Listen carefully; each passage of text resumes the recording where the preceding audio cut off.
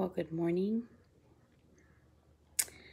Um, it's probably morning in Hawaii and other parts of the world.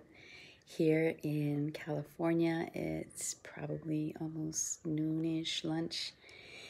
And um, I just want to welcome you to Women of War. And I am just popping on for a quick word, um, which I was reading a couple days ago in John chapter 2. And if we if you know the story, it's talking about the wedding in Cana in the city of Galilee where Jesus and his disciples and his mother all went to attend.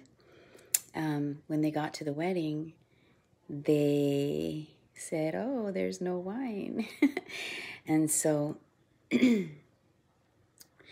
Mary and Jesus have this little exchange, and Jesus tells her, Woman, it's not my time yet. But um,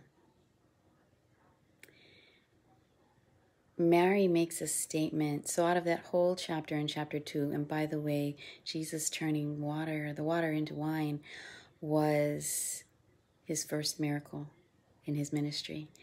But what stands out to me in chapter 2 is just one little statement that Mary makes. And um, even though Jesus says that to her, and it appears like he's not going to do anything, he's not going to help, he's not going to, you know, make wine for anybody.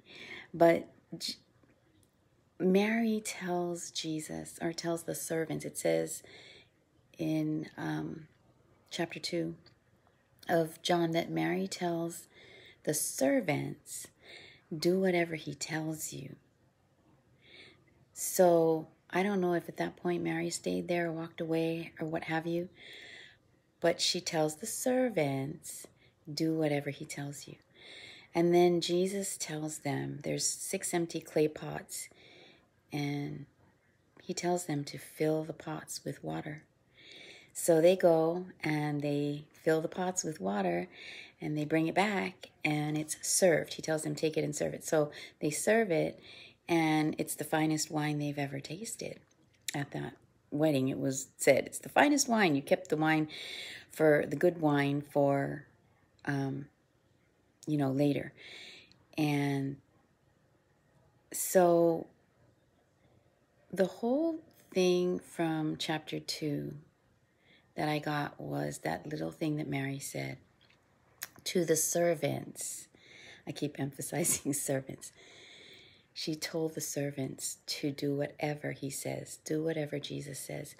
We are all called to serve. That's what we're that's what we're created for to serve our creator to serve others you know and so mary's statement do whatever he says still applies to us today as his servants do whatever he says what does Jesus say? Jesus came as the Word of God. Hi, Chan. My granddaughter's watching. I miss you. Anyway, so um, we are all, we were all created to serve, to serve God, to worship Him, to love Him, to, to serve others, to love others. Um, so Mary's statement instructing the servants to do whatever he says, it still rings clear for today. We are to do whatever Jesus says. When Jesus came, he came in the flesh, but he was the Word in the flesh. So the Word of God is what we have to do. We have to obey the Word of God. We have to be doers of the Word and not just hearers only. So, with that, um, I just want to encourage you. So, this was really quick. I just, you know, got that sort of revelation in that little clip there. I mean, just that one little verse where it still applies to us today. The word applies to us and will apply to us throughout eternity. It never changes. God never changes. He's always the same yesterday, today, and forever.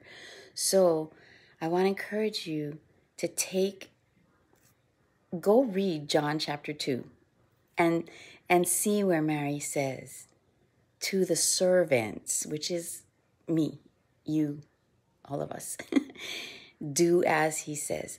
So, whatever the word says, let us be doers.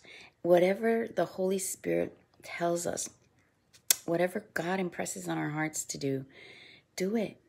Because that instruction that Mary gave to those servants still applies to us today.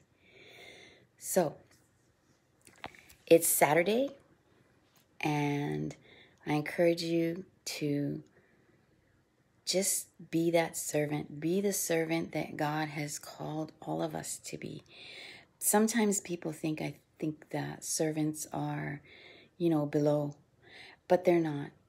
Really, being servants of all is what we're called to do. And that's exactly what we should be doing. If we serve God first, serving others comes easy or should come easy if we're really serving God first. So, again, just as an encouragement, follow Mary's instructions, do whatever he says, whatever the Father says, whatever Jesus says, whatever the Holy Spirit lays upon you, do it. Amen. Well, thanks for joining. Thanks for watching. And my family over there that's watching, I miss you guys terribly. I love you all. Have a blessed day.